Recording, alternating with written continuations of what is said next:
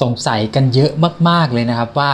เจ้าตัว Hardware Wallet เนี่ยเวลาที่เราใช้เนี่ยจะต้องเสียบคอมตลอดเวลาหรือเปล่านะครับคำตอบก็คือไม่จำเป็นจะต้องเสียบคอมตลอดเวลานะครับ เจ้าตัวเอา Hardware Wallet เนี่ยมันเป็นเหมือนแค่กุญแจเท่านั้นเองนะครับ แล้วก็ตัว Wallet ของเรามันจะคล้ายๆกับตัวกล่องจดหมายหน้าบ้านเนี่ยเวลาที่ใครอยากจะส่งอะไรให้เราเนี่ยเขาก็มาสอดลงกล่องจดหมายใช่ไหมไม่จำเป็นจะต้องมีกุญแจ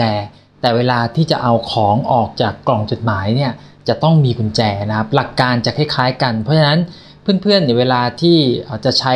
ส่งตัว URL หรือ address ของ wallet เนี่ยให้ใครเนี่ยเพื่อที่จะโอนมาเนี่ยเราไม่จำเป็นจะต้องเสียบเจ้า hardware wallet เนาะ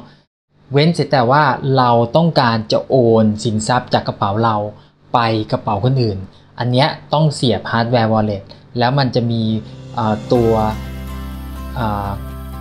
คำถามขึ้นมาให้เราเนี่ย confirm ว่าเราจะโอนจริงๆนะครับก็อันนี้เป็นคุณสมบัติอันหนึ่งที่ว่าถ้ามี hardware wallet จะป้องกันได้ว่า ถ้าเราจะโอน เราจะต้องมีการกดจริง ๆ นะครับ